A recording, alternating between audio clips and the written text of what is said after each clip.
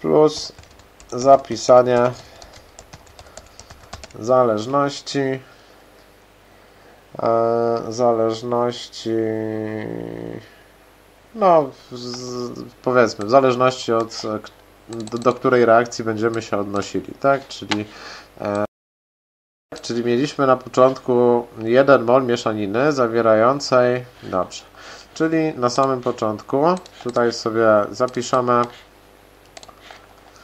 takim razie y, liczba moli, co to tam było? CO, czyli początkowa ilość moli y, CO. No i tu sobie oznaczymy x, załóżmy. Liczba moli początkowa C3H8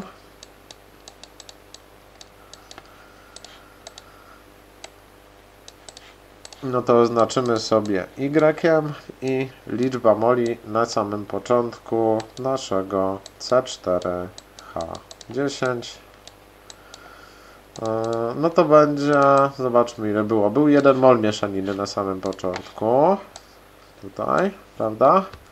Więc e, tego tutaj na końcu będziemy mieli 1 minus x i minus y, tak? Czyli tego nam pozostanie tyle, co przereaguje CO i jeszcze jako, znaczy tyle co ubędzie CO i tyle co ubędzie C3H8, to nam pozostaje tego C4H10 po tej reakcji. No i tutaj będziemy mieli w takim razie oznaczenia, już tu mamy zapisane, e, no i to jest nasz stan początkowy, że sobie zapiszemy. Stan początkowy przed reakcją spalania, ok. Może tak sobie to złapę jakoś.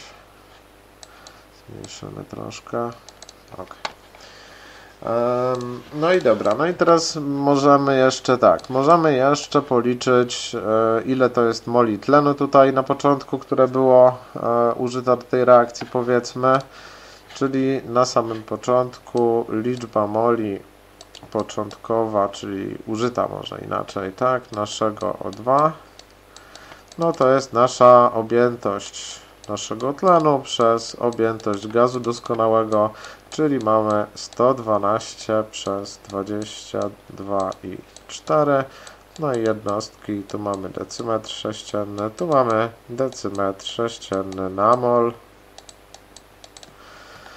E, no i do tego to nawet nie trzeba kalkulatora, to jest 5 mol O2 użyto do tej reakcji.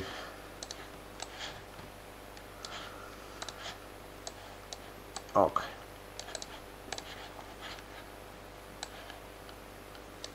Ja tutaj sobie to oddzielę tak, żeby mi nie przeszkadzało w niczym. Ok. No dobra, no to zapiszemy teraz równania reakcji spalania poszczególnych, e, poszczególnych tutaj składników mieszaniny początkowej. Czy... Tak, oczywiście wolno wstawiać ułamki, jakby ktoś tam miał, nie wiedział, miał do tego problem, no cóż, e, przykro mi, że wam takie rzeczy powiedziano gdzieś tam w szkole. No wiecie jak to jest, jak ludzie mówią, a nie jest określone kto, prawda?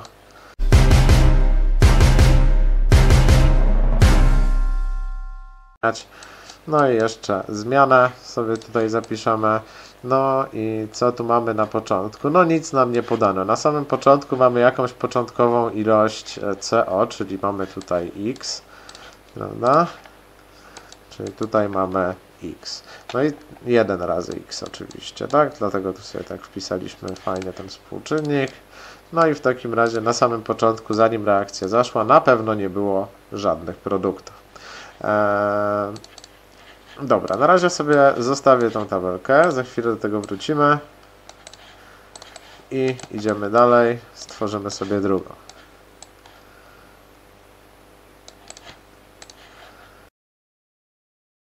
Dobra. Mm. Ok. No to idziemy do tej, prawda? I tutaj mieliśmy na samym początku Y tego C3H8 sobie zaznaczyliśmy. No więc mamy 1 razy Y, tutaj tego C3H8, produktów na początku nie mamy. No i na razie zostawimy sobie w sumie tyle, jeżeli chodzi o drugą tabelkę. No i to samo zrobimy w trzeciej, czyli na razie zapiszemy tylko i wyłącznie to, e, co uznajemy za całkowicie oczywiste, żeby się nie pomylić, prawda? Jak się pewnie domyślacie, już tutaj będzie dość sporo tego. E, także, także tutaj, no, postarajmy się. I tutaj może jeszcze do tych oznaczeń dopiszę sobie. No albo nie, dobra. No to weźmiemy sobie tak to po prostu w nawias, czyli tyle mieliśmy początkowo właśnie naszego e, C4H10, tak? Czyli 1 minus x i minus y. Czyli tutaj wpisujemy 1 minus x minus y na początku. Biorę sobie to w nawias, żeby to traktować po prostu jako całość jeden raz. Czyli jeden razy coś po prostu. Ja to coś będę po prostu sobie, czyli ten nawias kopiował właśnie celem dla takiego delikatnego uproszczenia tutaj e, dalszych, dalszych zapisów i obliczeń. No dobra, no to idziemy po kolei, czyli biorę sobie na początek tą tabelkę pierwszą. No i najpierw patrzę sobie też tutaj, zanim tam coś zacznę, co my tutaj mamy w tym stosunku molowym, bo ten stosunek molowy odnosi, odnosi się oczywiście do stanu równowagowego. No to, to są liczby moli w stanie równowagi, czyli powiedzmy sobie mm, zapiszemy a tam już było zależności, no to nie, to po prostu tutaj napiszemy sobie, że to jest stan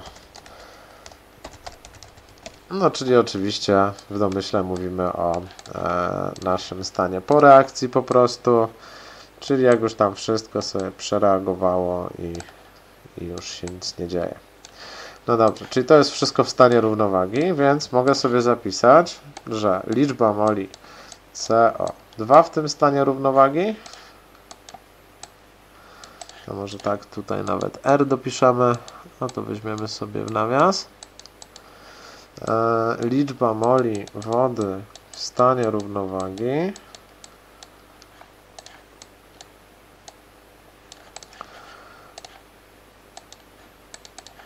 i liczba moli też w stanie równowagi naszego tlenu. No dobra. No i teraz tak, spójrzcie sobie tylko na tą tabelkę. Ja sobie tutaj odjadę z nią. E, czyli tak, patrzymy sobie, tak, że skoro przereagowuje nam 1x naszego CO, no to tyle samo powinno nam powstawać CO2, prawda? No bo tutaj mamy stosunek molowy 1 do 1, czyli określa nam to, że tyle samo powinno powstawać, jeżeli wystarczy nam do tego tlenu. Czyli tu możemy dopisać, że jest to 1 razy x, no i sumować tak jak przy zadaniach z równowagi. Czyli mamy po prostu tutaj 1 razy x. No i to tyle. Teraz tak, skoro tego powstaje 1x, no to tego musi tyle samo ubywać. Czyli ubywa 1 razy x, to plus to daje nam 0. E, no dobra, no i tą tabelkę możemy na razie sobie zostawić. Tutaj sobie ją postawimy. Idziemy do tabelki drugiej. To była druga.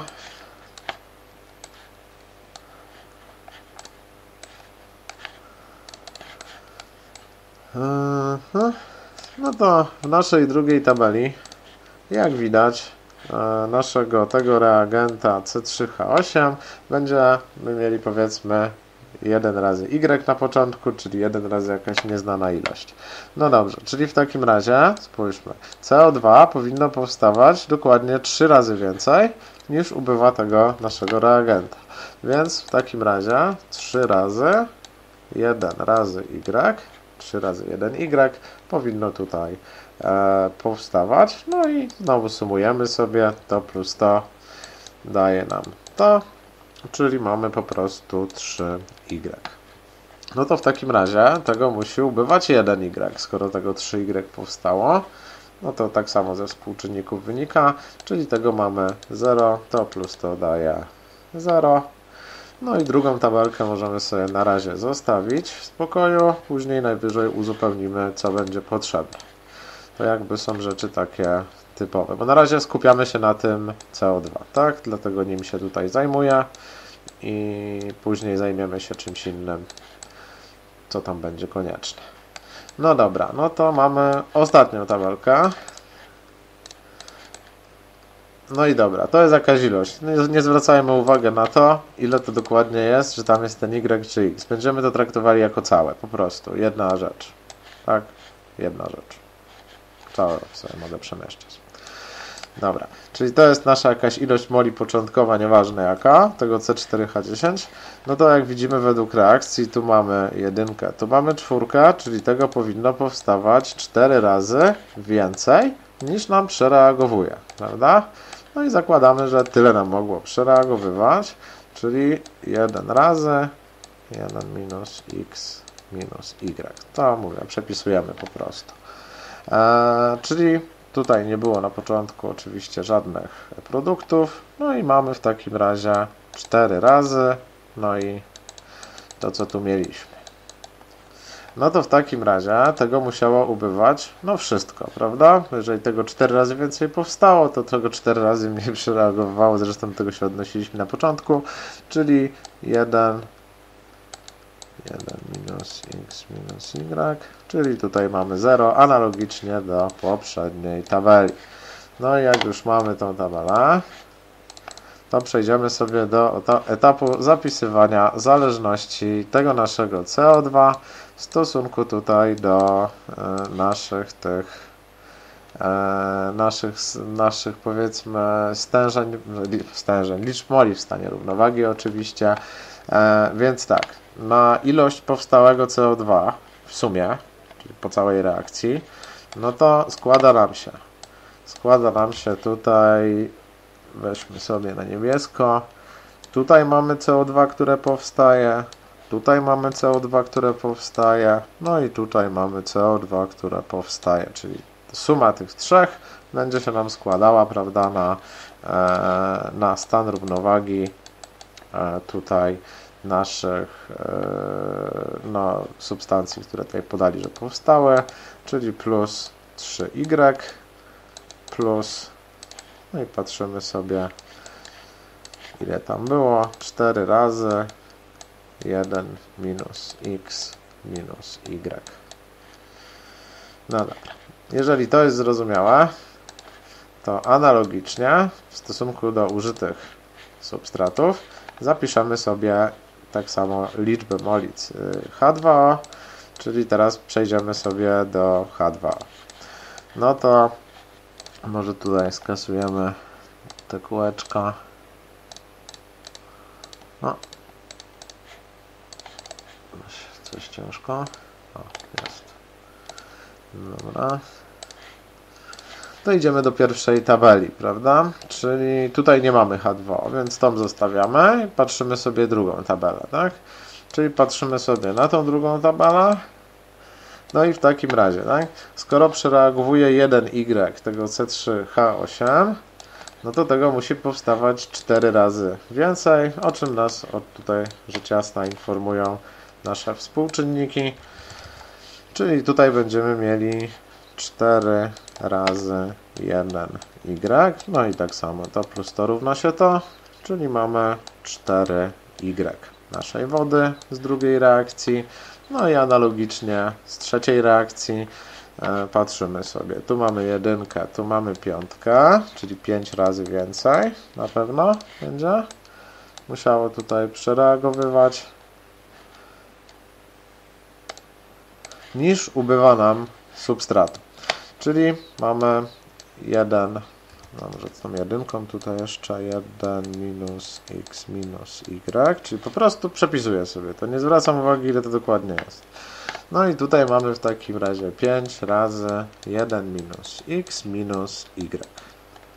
No, dodajemy to plus to daje to. No i już mamy gotową drugą tabelę. No, tylko sobie akurat przesunąłem. O.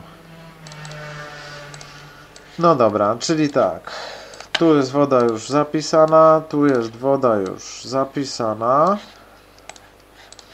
Eee, tutaj wody nie było, po prostu. Czyli patrzymy sobie na sumę ilości wody czyli w stanie równowagi ile tej wody powstaje, no to składa nam się oczywiście tutaj ta ilość i ta ilość wody, więc zapisujemy tutaj, czyli tutaj dopisujemy sobie 4y plus, no i tu mamy 5, to samo co tam było. No i po prostu stawiam tą magiczną ilość moli. No i dzięki temu mamy już drugą zależność zapisaną. No i e, teraz musimy zapisać, jeżeli chodzi o tlen. No to teraz tak, z tlenem jest o tyle ważne to, e, że na samym początku, no wiemy, że było razem 5 moli, prawda? Z całego tlenu. Czyli tlen, który tutaj się znajdował, tutaj się znajdował, czy brał udział w tej reakcji, w tej ostatniej też, w sumie razem dawał 5, prawda? Więc może sobie zrobimy jakieś literki, czy coś w tym stylu. Hmm. Albo może, może inaczej. Może zróbmy tak. No najpierw sobie zapiszmy, jak się to będzie zmieniało w stosunku do ilości tego e, substratu, tak? Czyli jeżeli przereagowuje 1, 1x, to tego musi być dwukrotnie mniej przereagowane, czyli musi ubywać jedna druga, zgodnie z tymi współczynnikami, raza tyle, co było na początku tego x, tak? Czyli razy 1x. Ok. E, czyli tutaj mogę sobie zrobić tą naszą ilość początkową tego O2 zapisać, którą tutaj na początku zapisywałem sobie po prostu e, jako 5. Tak? Powiedzmy, że e, dobra, tak, czyli była tutaj jakaś ilość, przereagowuję. No dobra, czyli tutaj będziemy mieli tak naprawdę może nie, może nie, nie, nie, nie, nie, nie, nie. Może zróbmy jeszcze inaczej. Um, zróbmy tak, P1 sobie tutaj zróbmy. O, bo tutaj będą jakieś te różne ilości tego naszego tlenu. To sobie tu robię P1, tu sobie zrobię NP2 tego naszego O2. No a tutaj sobie zrobimy NP3 3 naszego O2. OK. No i wrócimy na chwilę do oznaczeń. Dopiszemy sobie tutaj w takim razie, że na całą tą ilość tego 5 moli O2, czyli na całe n początkowe O2, składa nam się NP1 naszego O2, czyli liczba moli przereagowana w pierwszej reakcji, składa nam się liczba moli przereagowana w drugiej reakcji, czyli NP2 naszego tlenu. No i składa nam się NP3 z trzeciej reakcji naszego tlenu. Tak naprawdę. Tak z tych trzech elementów składa nam się te 5 moli. Czyli to jest to samo po prostu. No, jakieś to oznaczenie wprowadzić, żeby to miało jakiś sens bardziej logiczny powiedzmy. No i dobra, no i wracamy sobie tutaj. Tutaj już zapisaliśmy, że przereagowuje dwukrotnie mniej, czyli 1 druga razy x, zgodnie ze współczynnikami. No i w takim razie tutaj możemy zapisać sobie, że NP1 e, naszego tlenu minus, zresztą może tak, minus 1 druga x. Prawda?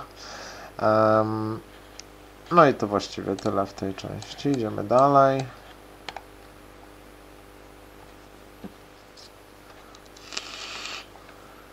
Dobra, w tej części tutaj będzie nam ubywało w takim razie pięciokrotnie więcej niż przereagowuje naszego substratu w molach, czyli minus i 5 razy. No może będzie już tak jak było na zielono, minus 5 razy ilość substratu na początku, tyle tego będzie musiało ubywać. No i tutaj oczywiście zapisujemy sobie NP2 naszego tlenu minus minus 5 y, tak, czyli to. No i już mamy drugą zapisaną bardzo ładnie, ostatnia czyli tego przereagowuje 13 drugich razy więcej niż reaguje tego substratu. Ok, czyli minus 13 drugich razy, no i to, co tu mieliśmy.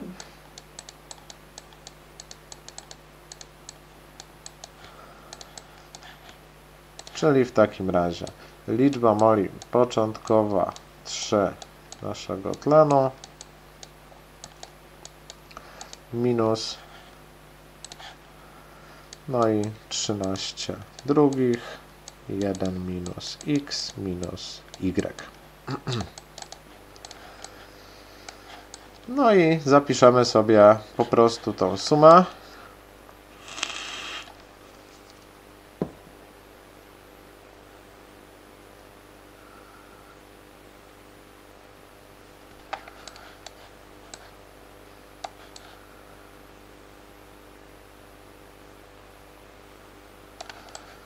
No to zapisujemy, tak? Czyli zapisujemy sobie, bo teraz tutaj będzie ubywało, prawda? Więc e, dlatego mamy tutaj te minusy.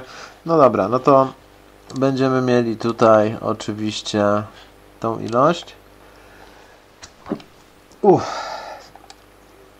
Naszego tlenu tą ilość naszego tlenu w stanie równowagi i tą ilość naszego tlenu w stanie równowagi. No to trzeba to będzie tutaj powpisywać Czyli tak.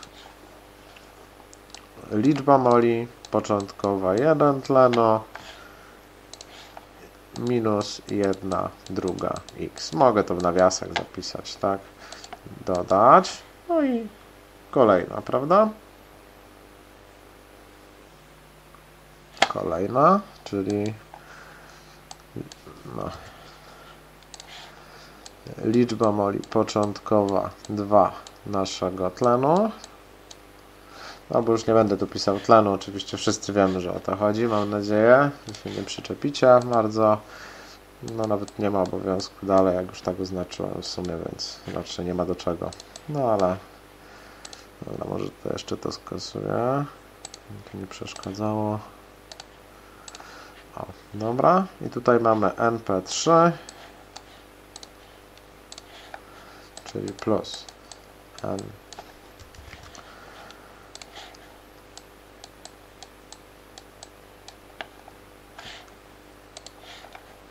minus i tam było 13 drugich razy 1 minus x minus y.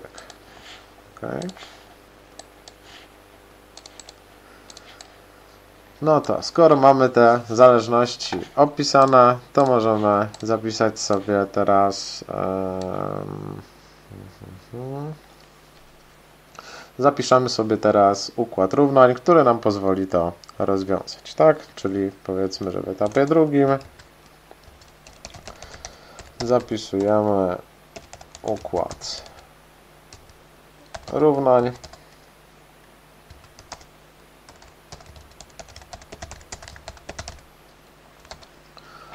z zapisanych danych, tak? No dobra, no to e, ja proponuję, żebyśmy sobie zrobili może, e, jeszcze uprościli sobie to, może równanie troszkę, to ostatnie. Powiedzmy, że to jakąś kropkę postawię.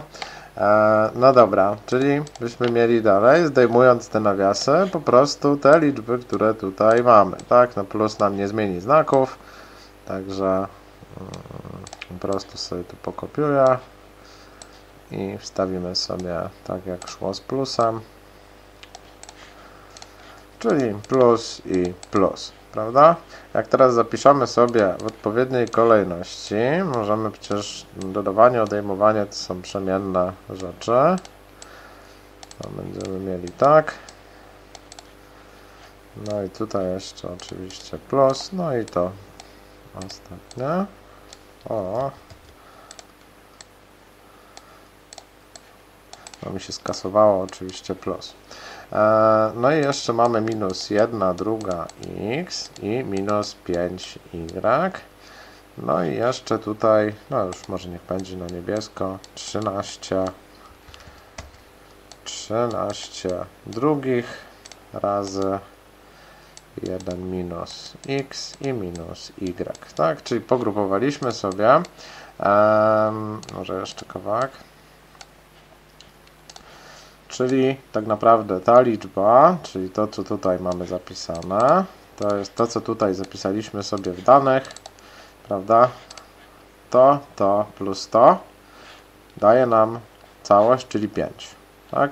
Czyli to całe to jest po prostu 5 suma tego tlenu. Czyli tutaj piszemy równa się, no i mieliśmy na początku 5 tego tlenu, no i dalej mamy dokładnie to samo.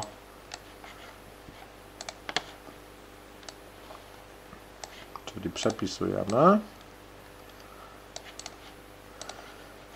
No i to jest ta nasza liczba moli tlenu w stanie równowagi. No dobra, no to może sobie tutaj Eee, to może zrobimy tak, że wyjedziemy sobie z tym równaniem tutaj upraszczającym. To jest po prostu wyprowadzenie. Skąd się wzięło to? Dobra, no tylko to będzie nam tutaj potrzebne, także ja sobie to wyprowadzenie zmniejszymy i przeniesiemy sobie gdzieś tu wyżej. Eee, dobra.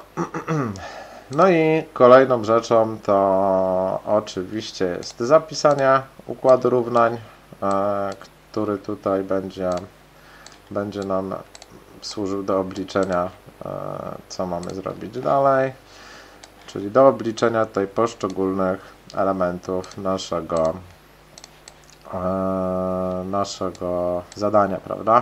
Czyli teraz tak, czyli teraz musimy wykorzystać to oczywiście co nam tutaj podano, czyli te stosunki molowe, prawda? Mm, no to możemy sobie obojętnie w sumie jak zrobić, e, czy obojętnie, no możemy sobie zrobić na przykład to do tego, czyli zobaczmy sobie, liczba moli tego do liczby moli tego, to będzie 10 do 12, albo odwrotnie, jak chcecie 12 do 10, to nie będzie miało żadnego znaczenia czyli możemy sobie zrobić liczba moli w stanie równowagi naszego CO2 do liczby moli w stanie równowagi naszego H2O jest równa 10 do 12 no i to będzie jeden z elementów układu równań No i jeszcze możemy, na, możemy sobie wziąć te dwa, prawda? Czyli e, no to już w którą stronę to obojętnie. Liczba moli w stanie równowagi H2O do liczby moli w stanie równowagi O2 jest równa 12 do 1. Ok. I co, no pozostało nam to policzyć, prawda? E, czyli tak, czyli musimy sobie najpierw teraz podstawić, tak? Czyli musimy sobie podstawić poszczególne elementy. Czyli jak widać tutaj mamy liczbę moli w stanie równowagi CO2 i wstawimy sobie ją tutaj, tak? Czyli jeszcze raz otwieramy układ równań, no i 1x no to po prostu x, 3y to 3y plus 4 razy, tu jeszcze będę przepisywał ten raz 1 mm, minus x minus y podzielone przez liczba moli wody w stanie równowagi, no to tutaj czyli mamy 4y plus 5 razy 1 minus x minus y. No i teraz podstawimy sobie też tutaj liczba moli H2 w stanie równowagi, czyli robimy sobie kreskę ułamkową. To była liczba moli H2 w stanie równowagi, więc to przepisujemy.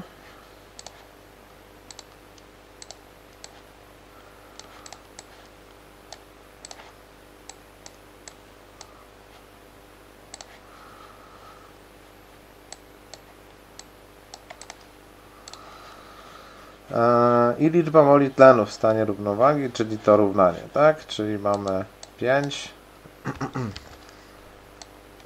czyli tutaj w to miejsce wstawimy to, czyli mamy 5 minus 1 druga x minus 5y minus 13 drugich razy znowu ten nasz nawias no i mamy już prawie wszystko zapisane. Pozostało w zasadzie napisać znaki równości i te stosunki molowe. Czyli tu mamy 10 do 12, a tu mamy 12 do 1. No i powiększę sobie to troszkę. No dobrze, czyli już mamy podstawione i pozostało nam tylko ten układ równań odpowiednio rozwiązać, tak? Czyli rozwiążemy go sobie najpierw, skoro już mamy wszystkie równowagi zapisane. No to co? Tutaj wychodzi na to, że będziemy to musieli mnożyć na krzyż, niestety. Czyli pierwsze równanie, e, czyli mnożymy sobie to razy całe to, prawda? Czyli będziemy mieli 12 razy x plus 3y plus 4 razy.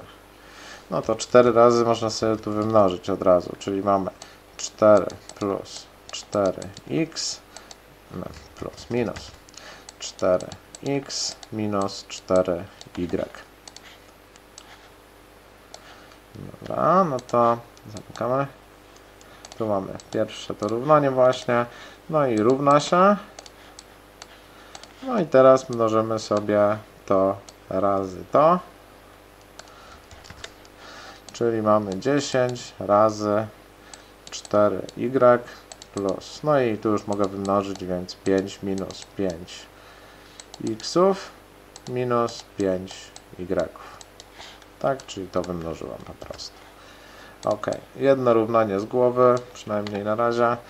To razy to, no to jest po prostu ta liczba, czyli mamy 4y plus 5 minus 5x minus 5y. Tak, to się równa 12 e, razy 5 minus 1 druga x minus 5y minus 13 drugich. Teraz tu mamy minus 13 drugich razy minus x, czyli plus 13 drugich x i plus 13 drugich y. Pamiętajmy o tym, bo jak się nam pomyli, to przy tylu obliczeniach no, będzie dość skomplikowane znalezienie błędu i czasochłonne, wkurzające nawet wręcz więc postarajcie się uważać na to, żeby nie robić takich rzeczy.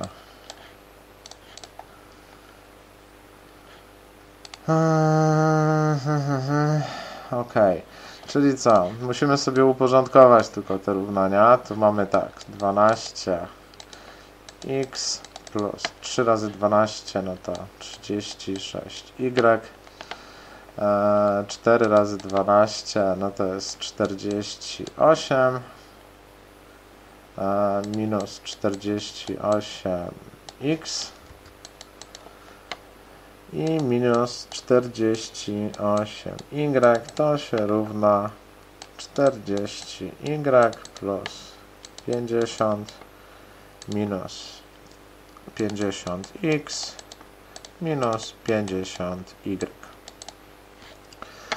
No i tutaj też zrobimy porządek.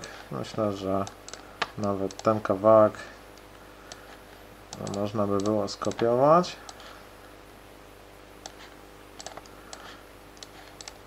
No i tutaj mamy mm, 12 razy 5, no to jest 60, minus 1 druga razy 12, no to 6 xów, e, minus 5 razy 12, no to 60 y, e, minus. I teraz mamy to razy to, czyli tak, skrócą nam się dw- dwójka z dwunastką, będziemy mieli 6 razy 13 tak naprawdę, prawda? Czyli mamy 6 razy 13 to jest 78 xów. A nie, tu bez xów jeszcze. E, plus tu będziemy mieli to ten sam, e, ten sam trik, czyli będziemy mieli 78 xów. I plus ostatnia, czyli tak samo 78 y. Dobra.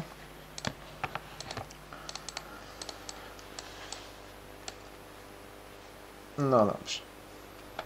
No to yy, dalszy porządek. Może od xów zaczniemy. Tu mamy x, tu mamy x, tu mamy x. No i teraz tak, wszystkie x po lewej stronie musimy zapisać, czyli mamy tak, 12 xów e, minus 48 xów i jeszcze plus te 50 xów, jak przeniosę na drugą stronę znaku równości, czyli plus 50, czyli razem mamy 14 xów. Teraz y, tu mamy y, tu mamy y, tu mamy y i tu mamy y.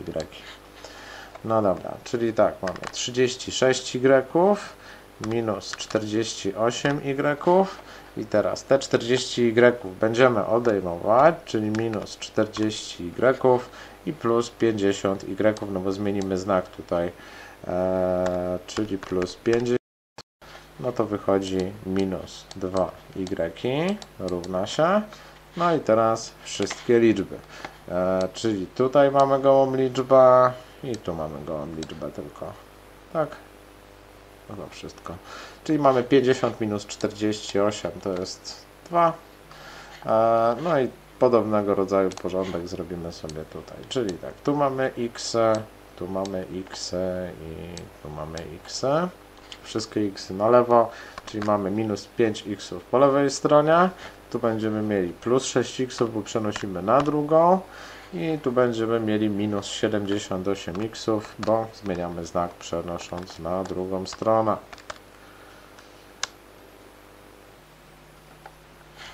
Czyli wychodzi mi, że minus 77 x mamy. Jeszcze raz, minus 5 plus 6 minus 78. No to zgadza się. Teraz y, czyli to, to, tu i jeszcze tu. Ok, czyli po lewej stronie mamy 4y minus 5y. Po prawej stronie mamy tu minus 60, czyli będziemy mieli plus 60. Jak przeniesiemy na lewo i będziemy mieli minus 78 e, z przeniesienia y z prawej na lewą, czyli będziemy mieli minus 19 y to się równa, no i gołe liczby, czyli 5, tu, tu. Mamy, czyli mamy teraz 5 minus 160, no i minus plus, i plus 78, bo 78 na drugą, czyli plus 78,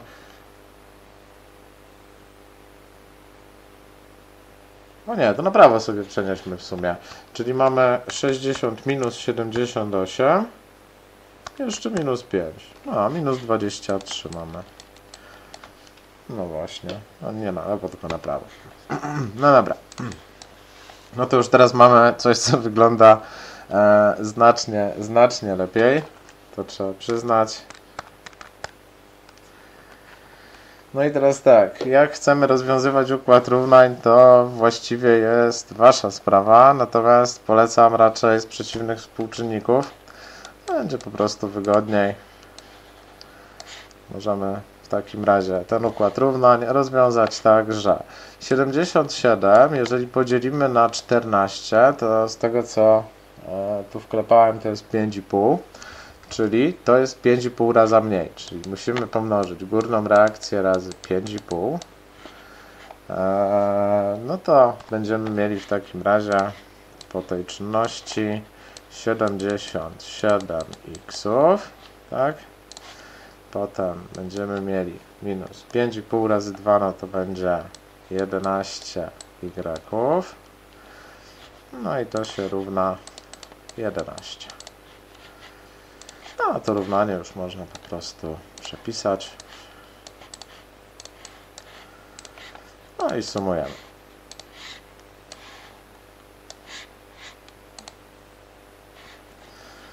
Czyli tak, to mi wyleci. Um, tutaj będę miał razem minus 30 y. To już może na niebiesko. Minus 30 y równa się no i musimy 11 od tego odjąć, czyli będziemy mieli 12 e, minus 12 tak. Dobra. No i oczywiście y liczymy dzieląc przez no zresztą to na pewno wiecie czyli będziemy mieli 12 na 30 no to jest 0,4 no i jeszcze moglibyśmy policzyć również x, z któregoś tu z równań może być z tego tu pierwszego. Załóżmy nie będzie, że z tego.